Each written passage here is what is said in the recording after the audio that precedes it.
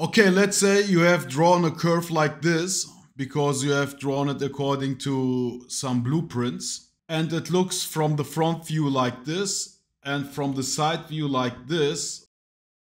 You don't need to try to fit this newly created curve to this shape.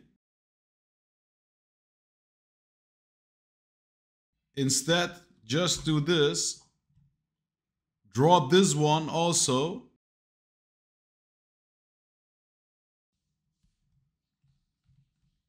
And project this curve onto this one. So first select the curve you want to project onto this shape.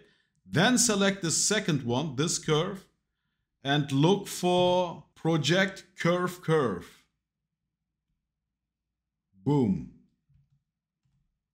Now you can see that the first curve has adopted the shape of the second curve perfectly.